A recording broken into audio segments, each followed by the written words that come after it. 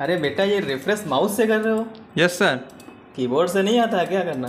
Sir आता है। अरे तो कीबोर्ड से किया करो बहुत जल्दी होगा। अच्छा। करो कैसे करोगे देखें जरा। तो सर यहाँ पर आपको सबसे ऊपर F5 बटन यहाँ पर है तो अच्छा। F5 बटन पर प्रेस करना है और यहाँ पर अच्छा जितनी बार प्रेस करेंगे रिफ्रेश होता रहेगा रिफ्रेश होता तो रहेगा। बहुत ईजी है। बिल्कुल बहुत सर बढ़िया बहुत बढ़िया।